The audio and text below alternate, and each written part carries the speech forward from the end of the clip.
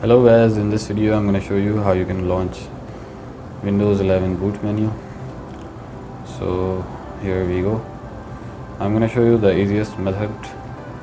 You just have to hold the shift key and then just open start menu and restart your PC or laptop while holding the shift key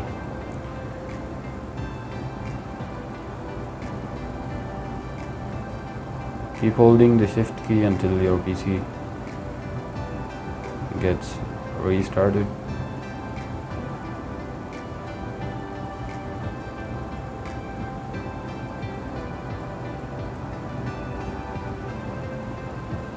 Once you see the logo just release the shift key